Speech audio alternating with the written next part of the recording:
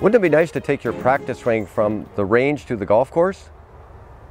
Well, in today's video, I'm going to share a short story with you about a fellow who shot in the mid 70s and then who suddenly lost his game completely and how he started to recover it. So if this is something that you can relate to, stick around.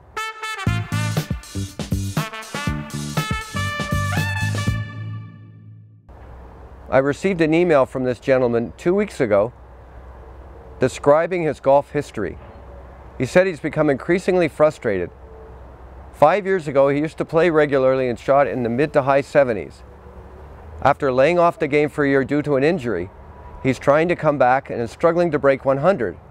He says he's taken lessons and practiced every other day, hitting up to 500 balls a week, and his game is deteriorating. He wanted to know if I had any suggestions. The first thing I told him was to stop practicing. The second thing is for him to realize that if he could shoot in the low to mid 70s at one point, then he could do it again. He had the ability. The problem, he was trying to force his game to come back.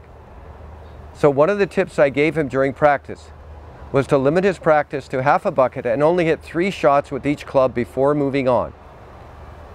I also asked him to rate his shots instead of expecting every shot to be perfect, to rate them on a scale of 1 to 10 and to keep track of how the shots go during each practice session. I received an email from this fellow last week and he says his game is gradually improving.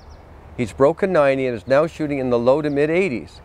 Ironically, he's playing better now that he's practicing less. He's following my advice of rating each shot on a system he's made up between 1 and 10 and only hitting three shots in a row with each club and then switching clubs.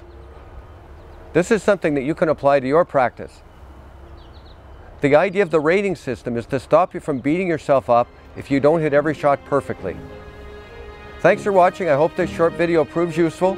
Before you go, make sure you subscribe to our channel. Make sure you check out the other videos on our page. If you have any comments, feel free to send me an email.